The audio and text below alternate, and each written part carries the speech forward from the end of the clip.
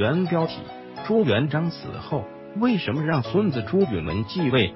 内眼惊天大玄机话说，雄才大略的朱元璋建立大明王朝后，一边诛杀功臣、重惩贪官，另一方面励精图治，开拓进取，目的只有一个，那就是稳稳当当的保住大明江山，然后平平安安、顺顺利利的让太子朱标继位。朱标的是朱元璋原配夫人马皇后的长子，他既没有经受戎马拱总，生活磨难，亦未身陷宫闱惊变，他的一生似乎完全是在风平浪静中度过的。朱元璋为了培养这个接班人，广聘名儒，在宫中特设大本堂，贮藏各种古今图书，让朱名儒轮班为太子和诸王讲课，并挑选才俊青年版图。而彪也很孝顺，对父母姐妹言必称亲，对宋濂等人言必称师，对百姓民众言必称爱，因此深受世人喜爱。公元一三六八年，大明王朝建立，朱标亦被立为太子。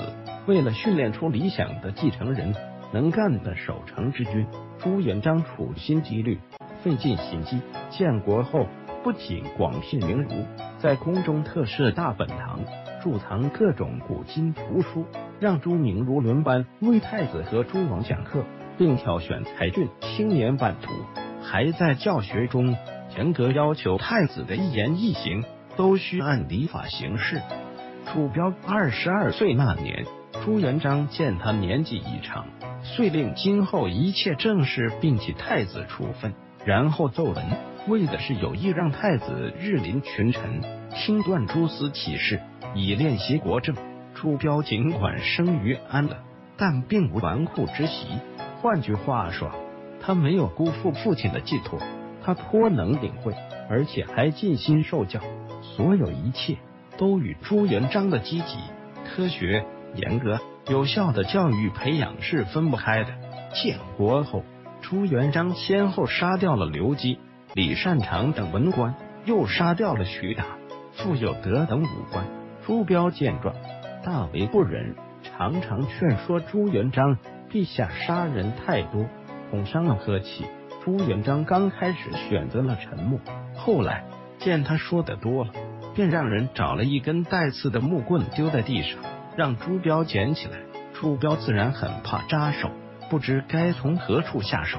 朱元璋冷冷说道。我杀人就是要替你拔掉这木棍上的刺，难道你看不出来吗？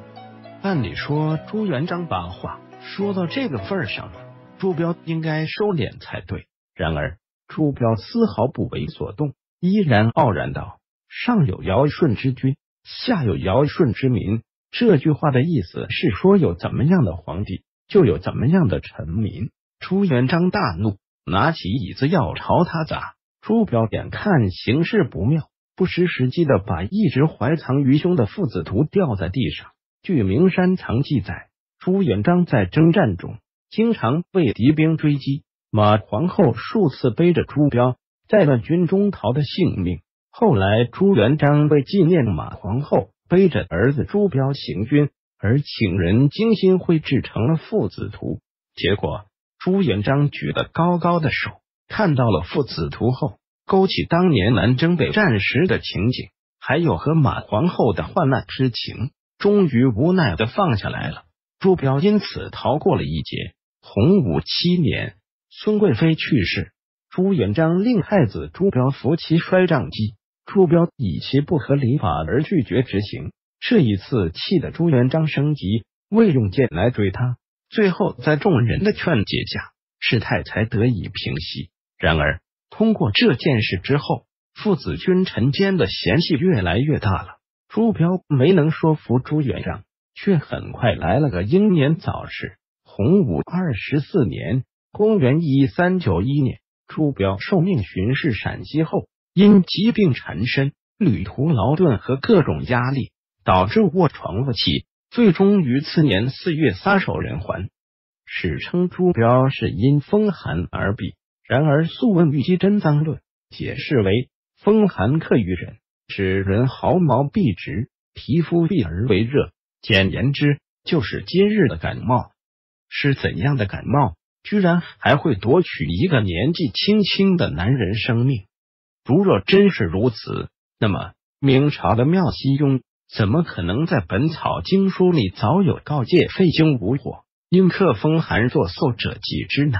因此说是风寒而毙，这似乎与理不合。有学者认为，由于性格和政治观念不同，朱标和父皇朱元璋间的分歧日渐扩大。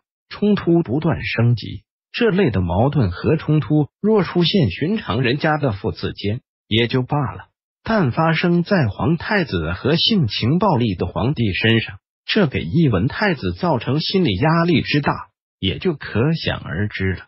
在这样情境中，朱标不仅难以意气风发、踌躇满志，相反，不得不常常在漫长而没有期限的等待、紧张。郁闷甚至惊恐之中苦忍度日，这些无疑早已在逐步的消耗着他的心力，损害着他的健康。终只因一次似乎偶然的事件而一病不起。还有学者认为，朱元璋对朱标的宠爱渐渐转到了他的另一个儿子朱赏身上来了。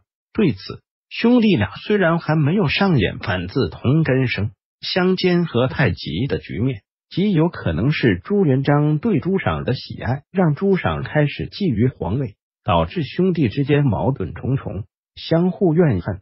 朱标越来越感到压力巨大，心理和精神压力过大，可能是诱发朱标英年早逝的一个原因。